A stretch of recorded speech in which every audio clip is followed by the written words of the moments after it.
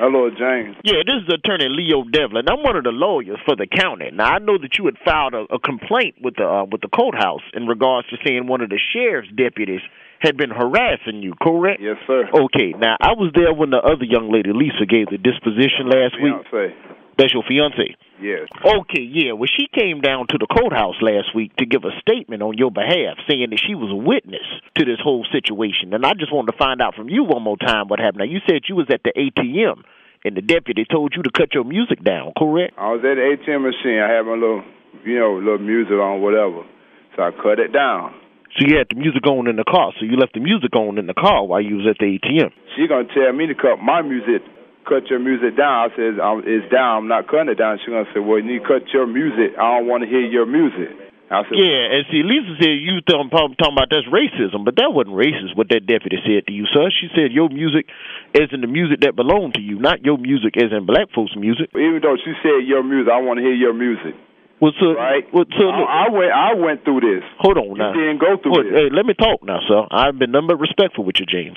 Well, And you trying to tell me that? Well, my fiance is saying like she's lying. She ain't got to lie about nothing. we got the tape from the ATM, so we just gonna sit down and watch the tape. So we gonna find out what happened. I already know she lying. I could look at her and tell. She ain't got to lie about nothing. Now, sir, I ain't No, you talking about she lying? She ain't got to lie about nothing, Well- bro. You know what? Don't even talk to me, bro. Well, hey, look, watch your tone, nigga. Hello? The person you called is no longer on the.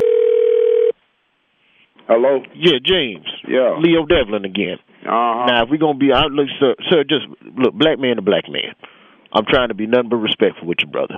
I'm just trying to get to the bottom of the matter, what happened. But you got a story, and the sheriff's deputy has a story. Now, that deputy is also a sworn officer, sworn to uphold and protect. And I know that black folks have a propensity to cut that music up real loud and shit. Now, that's something that maybe you shouldn't have done. Then you're gonna send your lying ass fiance up there to to the to the police. Hold on. You need to watch your motherfucking mouth. She ain't. You don't be calling my fiance no lying ass. You don't got me fucked, bro. You know what? Don't even fucking call me. She no don't. more. She don't. She wasn't. That, bro, she she wasn't me, cute. bro. She wasn't cute either, Don't nigga. try me, bro. She wasn't Don't, don't even try me. You gonna marry that? Hey, hold you. Watch your mouth now. Can't believe you gonna marry Watch that. your, watch your mouth, bro. Cause my homeboy Stucky already saw her. What? My cousin Stucky said she used to get naked back in the day. He got the tapes. He's supposed to be bringing them over tonight. Your homeboy who? My homeboy Stucky. He know Lisa. He know Lisa. Who is this? Who is this? It's comedian Roy Wood Jr. What's going on, dog? You alright? Oh, fuck no.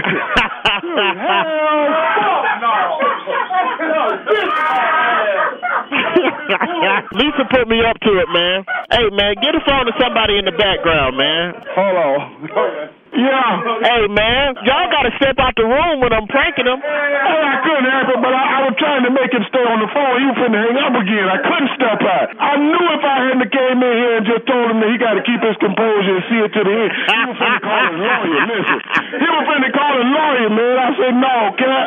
I couldn't help it, cat. It was so funny. All right, dog, peace.